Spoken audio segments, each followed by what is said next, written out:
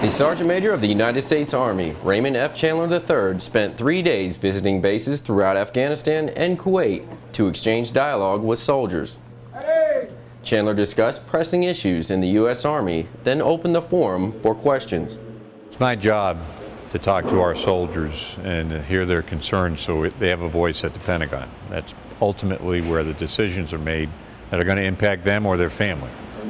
Chandler continued to explain the realities of the current state of the Army's financial situation and provided the soldiers with an idea of what they can expect in the coming years.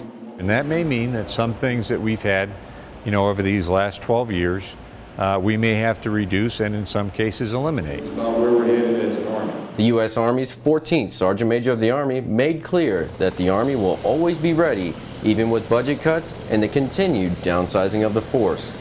If we are called upon by the President, I, I am 100% uh, positive that wherever we go and whatever we do, we'll be victorious.